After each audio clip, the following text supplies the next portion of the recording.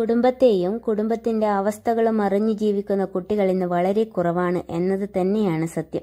ഇന്നത്തെ കാലത്ത് അത്തരം കുട്ടികളെ അധികം കാണാറുമില്ല. എന്നാൽ ഇവിടെ അത്തരം കുട്ടികൾക്കിടയിൽ ഒരു മാതൃകയായി മാറുകയാണ് പത്തനംതിട്ട ജില്ലയിലെ കലഞ്ഞൂരിലെ എട്ടാം ക്ലാസ്സുകാരൻ. കുടുംബത്തിന്റെ ബുദ്ധിമുട്ടുകൾ മാറാൻ തനിക്ക് സാധിക്കുന്ന ജോലികളൊക്കെ ചെയ്താണ് ഈ എട്ടാം ക്ലാസ്സുകാരൻ ശ്രദ്ധ നേടുന്നത്.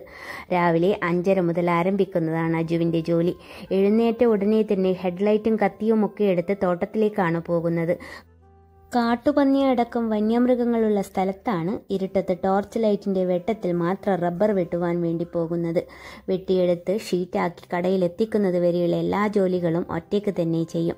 റബ്ബറിന്റെ പണി തീർന്നാൽ ആടുകളുടെ കൂട്ടത്തിലേക്ക് പിന്നീട് യാത്ര തുടങ്ങും. കൂടൽ സ്വദേശിയായ അജു രോഗിയായ അമ്മയ്ക്ക് കൂട്ടായി റബ്ബർ വെട്ടൽ മുതൽ കന്നുകാലി വളർത്തൽ വരെയാണ് കുടുംബത്തിന് വേണ്ടി ചെയ്യുന്നത്. പതിമൂന്ന് വയസ്സുകാരൻ സമ്പാദിക്കുന്ന ഈ പണമാണ് ആ കുടുംബത്തിന്റെ ദാരിദ്ര്യം മാറ്റാനുള്ള ഏക പോംവഴി.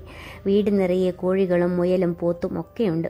വലിയൊരു കോഴി ഫാം തുടങ്ങണം എന്നതാണ് അജുവിന്റെ ഒരു ലക്ഷ്യം തന്നെയാണ്.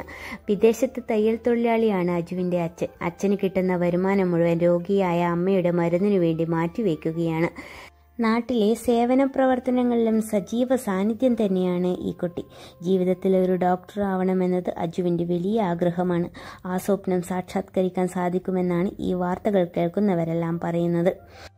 ഒരു ഡോക്ടർക്ക് വേണ്ടത് എപ്പോഴും ക്ഷമയും സഹജീവികളോടുള്ള സഹാനുഭൂതിയുമാണ്. കുഞ്ഞു പ്രായത്തിൽ തന്നെ അത് ആർജിച്ചെടുക്കാൻ അജുവിന് സാധിച്ചിട്ടുമുണ്ട്.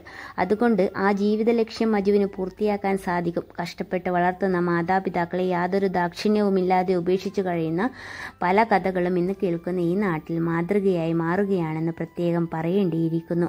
തന്റെ കുടുംബത്തിന്റെ ബുദ്ധിമുട്ടുകളും വേദനകളും ഒക്കെ മനസ്സിലാക്കി അവർക്കൊപ്പം നിന്ന് അവരുടെ വേദനകളിൽ കൈത്താങ്ങാകുകയാണ് അജു. പതിമൂന്ന് വയസ്സ് മാത്രം പ്രായമുള്ള ഒരു കുട്ടിയാണ് ഇത്തരം കാര്യങ്ങൾ ചെയ്യുന്നത് എന്നതാണ് ഏറ്റവും ആളുകളെ അമ്പരിപ്പിച്ചുകൊണ്ടിരിക്കുന്നത്.